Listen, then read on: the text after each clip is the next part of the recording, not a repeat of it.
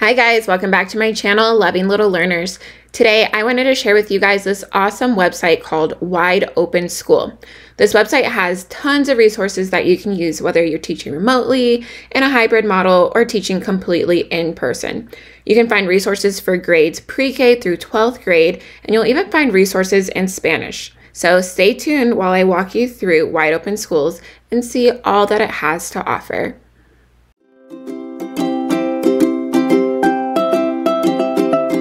So this is the Wide Open School homepage, and there are tons of different options that you can choose straight from here. On the top tabs, you can see they have student activities, a family and teacher center, and resources in Spanish like I mentioned before. And we'll go ahead and explore those in a moment. What I want to talk about now is this area here where it says see today's picks. Wide Open School has gone ahead and created daily plans for teachers. And within those daily plans, they showcase different activities that you can do within each subject area. So we're going to go ahead and click here on See Today's Picks. Once we click, we can see that we are able to choose our grade level on this area here. I'm going to go ahead and choose K through 2 since I am a kindergarten teacher. Once I click, I want to make sure that I am on the correct day. And today is Friday, January 8th. So let's look here. If I scroll down, I can see that there is a lesson or an activity or something to do with my students for each and every subject area. We have a math lesson, reading and writing, fitness, and then they even recommend taking a screen break, which is awesome. And they even give you an idea of what you can do during that break. There are offline friendly resources that you can utilize, whether you are teaching um, a hybrid model where you want to send things home with your students, or if you're teaching in person, you can print these out and have your students do this during a center or however you would like. They also have a science lesson and digital citizenship, which is great, especially since we are using our online resources so often that we want to make sure that our students really know how to navigate online um, in a safe manner. And this is going to go ahead and show them some online tips to stay safe, to stay. Um, private, keep their things private, and then also maintain a media balance. So this is great. There's something for each of those subject areas, like I stated before. And if you scroll down a little further, there's this area here where it says ready to make a plan. So you can create a plan using a daily or weekly planner that they give you here on Wide Open School, which is great because I really like to plan ahead and um, have everything organized and outlined for me. And then you can even share your plan. So if you need to share this plan with your principal or an assistant teacher that you teach with or your grade level teachers, you can do that here and you can copy the link to your plan, share via Google Classroom or email. So that is all here right on that daily plan page that you can see here. So let's go ahead and go back to Wide Open Schools homepage. And if I scroll down a little bit further on the homepage, I can see this area here where I am introduced to four different subject areas. They have way more than they are showing on this homepage, so I want to go ahead and go to see all subjects. Once I click here, I can see the subjects that they offer on Wide Open School. There's the daily plan, which we just explored.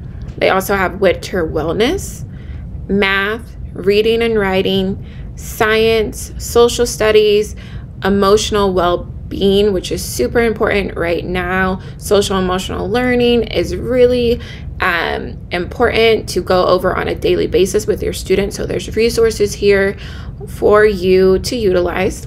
There's that offline friendly resource area, like we mentioned before, and we saw in the daily plan. They have fitness, arts, music, and DIY, digital citizenship, life skills, video and events, virtual field trips, which are super fun, and English language learner resources. So they really have something for everybody right here in that subject tab. So let's go ahead and choose a subject to explore. We're going to choose math. So once I'm in the math area, I want to make sure that I am looking at resources for my grade level. Again, Wide Open School covers the um, resources and activities from preschool all the way to grade 12. So there's really a huge variety, but I want to make sure that I'm looking at things that are relevant for my class. So I'm going to click on grade K through 2 once again. And once I do that, I can browse tons of different activities. So if I click here, I can choose just an activity, which is going to give me different things that I can do with my students and give me ideas of lessons that we can do in the class or virtually, whatever it might be. There's articles and ebooks that we can explore. Interactive. This one is super cool and useful if you are teaching remotely because you can just share your screen and kind of go over the lesson with your students. I really like to share my screen and have my students tell me what they think I should do next. We have math talks together as we work our way through the problems and the activities. So, interactive lessons are great if you are in remote learning and they're also great if you're teaching in person. You can have your students gather around the circle or the carpet time and um, share this on your smartboard or Promethean and really just follow those same exact steps that I just mentioned for remote learning. So uh, there's tons here that you guys can see that would help you kind of go through a uh, different subject areas and um, topics that you are introducing to your students. There are already pre-made lessons that you can use and with any of these, you can choose to visit or send off these um, resources that you're seeing. So you, again, you can copy the link, share via Google Classroom or email, or you can visit straight through this website. There are different videos that you can use. I think the video area is great because you can integrate them within your Seesaw lessons, your Google Classroom lessons, or whatever platform you're using. And this can just be um, helpful for teaching your students whatever it is you're covering for the day or the week. And these are already pre made, ready to go. So it just saves you some time. There is an area for websites and apps that you can use. There's websites like Khan Academy Kids, um, BrainPOP Junior, and there's also a lot of different websites that I have never even explored before. So I'm really eager and interested to go through and see what these new websites have to offer. And hopefully, I can find something useful to introduce to you guys um, in another video. And lastly, there's worksheets that you can use. So these worksheets are printable and you can give these out to your students as homework, classwork, whatever it is that you would like to do um, and find useful. So within that subject area of math, you have all of these different options to explore and all of these different resources to utilize. You can click on this drop down um, area here and then choose a different subject and explore one of those as well. And again, you can see preschool all the way through grade 12. So there's really um, a huge variety of things that they're offering here on Wide Open School. So let's go ahead and go back to the homepage. And we are going to now explore resources for um, the teacher and parent center. So let's go ahead and click on see all resources.